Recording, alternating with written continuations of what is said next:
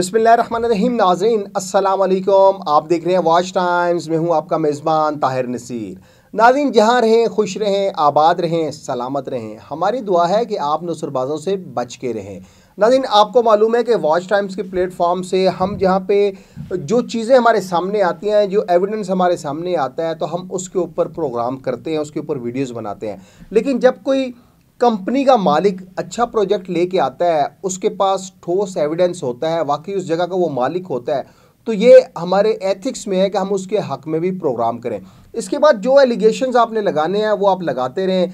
मैं और, क्योंकि इंसान जब आप किसी के ख़िलाफ़ बोलते हैं तो इल्ज़ाम लगता है, जी, आपको पैसे नहीं मिले। जब किसी के हक़ में बोलते हैं तो ये जो नौसरबाजों का ग्रोह है, ये कहता है, जी, आप बिक गए हैं। तो तायर नसीर एक मैं आपको दावे से कह रहा हूँ कि B for U group of companies बहुत बड़ा था और उसके जो लोग मेरे पास पैसे लेके आए थे उस हवाले से बाज़ दफ़ा मैं सोचता हूँ कि मैं वीडियो वो चला दूँ, लेकिन फिर मैं कहता हूँ, यार छोड़ो, किसी का भरम, किसी का भरोसा ना टूट जाए। लेकिन आप एक बात जहन में रखिएगा कि जो ग्राउंड रियलिटी हमारे पास मौजूद होगी, हम उसके ऊपर प्रोग्राम करते रहेंगे। अब Al Hayat group of companies ने, जिसके मालिक जानजेब आलम है, उन्होंने एक नया project Bahria town phase eight में शुरू किया है। अल हयात हिल व्यू के नाम से वो टावर खड़े होने लगे और उस टावर की जो हमने बैरिया की इंतज़ामिया के साथ रबता किया, जो हमारी वहाँ पर गुफ्तु हुई। तो हमें ये बताया गया जी कि ये जो प्रोजेक्ट है, ये इसकी दो बेसमेंट है, एक ग्राउंड फ्लोर है और इसके अलावा चार फ्लोर उसके ऊपर हैं। यानी कि बेसमेंट ग्राउंड और चार फ्लोर ऊपर। इस तरह का वहाँ पे वो टावर बनाया जा रहा है और बैरिया इंतज़ामिया से जब हमने पूछा जी, अगर वाकई ये टावर बनाया जा रहा है तो कोई डॉक्यूमेंटेड प्रूफ हमें प्रोवाइड किया जाए ताकि हम जान सकें कि जानजेब आलम वाकई ही फ़िज़िकल प्रोजेक्ट के साथ मार्केट में उतरा है। उसने जो पुराने माजी में जो उसके ऊपर दाग लगे थे, वो सारे ख़त्म हो गए। वो अब डिलीवर करना चाहता है। जिस तरह एडम अमीन चौधरी दावा करता है, उस हवाले से आपको कुछ हकीकत बताएँगे। लेकिन आपको नाजिम ये बता दें कि अलहयात ग्रुप ऑफ़ कंपनीज़ के जो मालिक हैं जानजेब आलम, उनसे मैं मुखातिब हूँ। जानजेब आलम साहब, आप अच्छा प्रोजेक्ट करेंगे तो तायर नसीर आपको प्रमोट करेगा।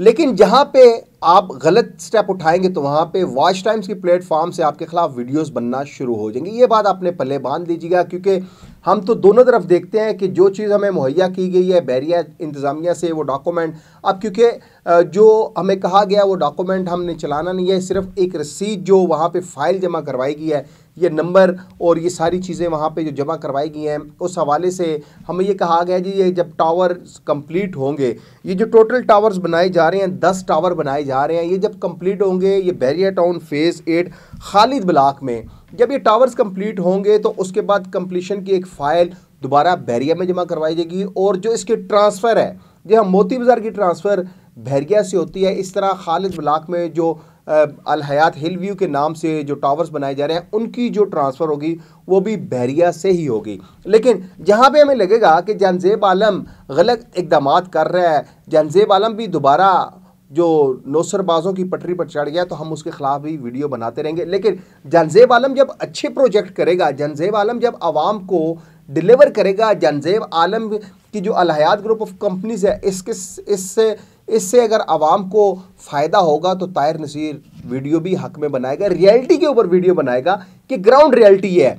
अलहयात टावर्स के ऊपर जो हमने आपको बताया कि चकदरा का वो अलहदा से एक प्रोजेक्ट है, उस हवाले से जो वहाँ पे इनकी डील हुई है, जिस बंदे के साथ डील हुई है, उसके साथ हमारी गुफ्तु हो गई है, कुछ डॉक्यूमेंट्स हमें मौसू हुए हैं, लेकिन मैं कोशिश कर रहा हूँ मैं उस बंदे को, जिनके साथ इनका एग्रीमेंट हुआ है, वो उस हवाले से हमें वीडियो, पैगाम दे वीडियो या हमारे साथ मिल के बनाए या हम उसको लिंक भेजें, उस लिंक के ज़रिए वो आवाम को बता सकें। लेकिन अलहयात हिल व्यू के हवाले से अब देखते हैं कि ये एक साल का टाइम पीरियड दिया गया कि एक साल में ये टावर्स कंप्लीट होंगे और उसके बाद यहाँ पे जो अप्रिसिएशन है, जो रेंटल है, ये तो आने वाले वक्त में बताएँगे कि कितना अप्रिसिएशन दिया जा रहा है, कितना रेंटल दिया जा रहा है। जहाँ तक बैरिया इंतजामिया की नाजीन बात है, जब हमारी उनसे ये भी गुफ्तु हुई तो कि ये अभी प्रोजेक्ट शुरू हुआ है तो इस पर आप ट्रांसफ़र क्यों नहीं दे रहे? तो उन्होंने कहा जी, बैरिया का एक रूल है कि जब तक कोई चीज़ कंप्लीट नहीं होती, कोई स्ट्रक्चर ग्रे स्ट्रक्चर खड़ा नहीं होता तो हम उस वक्त तक कोई भी प्लाट कोई भी दुकान ट्रांसफ़र नहीं कर सकते। जैसे ही ये टावर खड़े हो जाएँगे, उसके बाद हमारे पास एक फ़ाइल सबमिट की जाएगी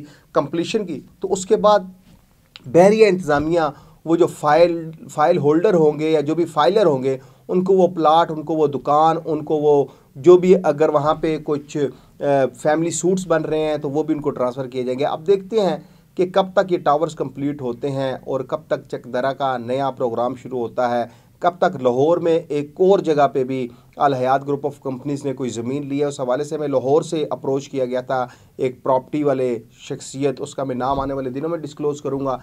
कि उन्होंने हमसे रबता किया कि भाई बताएँ, हमें क्या करना चाहिए? तो हमने तो एक ही बात की कि मोती बाज़ार का प्रोजेक्ट दे के और अब जो दोबारा हमने अल हयात हिल व्यू के कुछ डॉक्यूमेंट्स जो हमें मौसू हुए हैं, उसके बाद तो शायद लगता है इसी तरह है कि जानजेब आलम डिलीवर करे। लेकिन जानजेब आलम जहाँ पर गलत होगा वॉच टाइम्स के प्लेटफॉर्म से उसके खिलाफ आवाज़ उठती रहेगी। अगले प्रोग्राम तक के लिए अपने मेज़बान, ताहिर नसीर को इजाज़त दीजिए, अल्लाह हाफिज़।